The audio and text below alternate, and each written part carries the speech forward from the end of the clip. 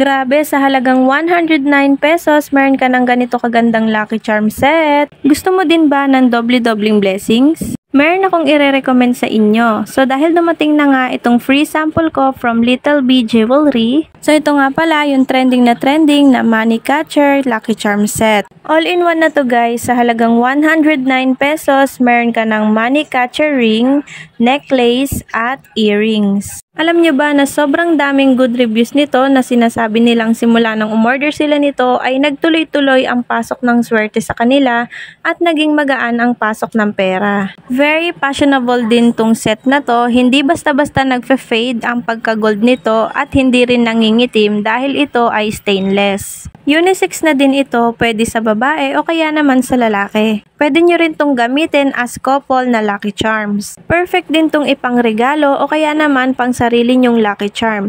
Kaya naman kung gusto nyong bumili nitong money catcher lucky charm set, check my basket and my profile for other quality items.